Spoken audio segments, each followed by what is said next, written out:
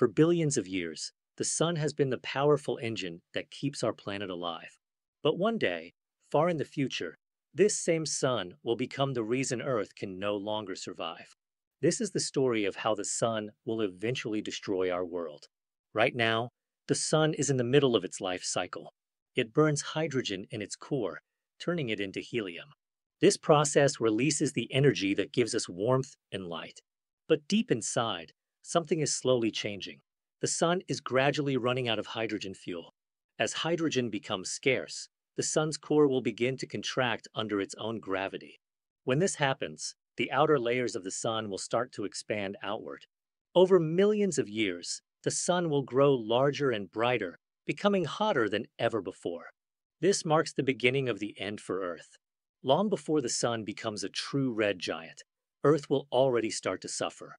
The rising heat will cause global temperatures to increase dramatically. Oceans will slowly evaporate, turning into thick clouds of steam. As the oceans disappear, Earth's atmosphere will weaken and drift into space, leaving our planet exposed and dry.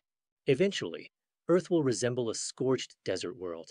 But the most dramatic stage is yet to come.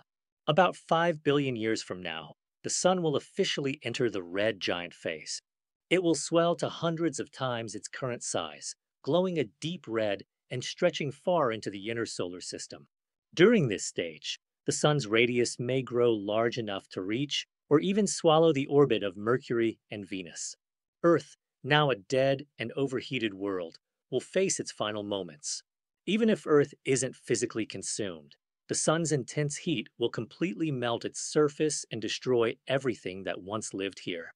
Finally, after its red giant phase ends, the sun will shed its outer layers and collapse into a white dwarf, an incredibly dense stellar remnant.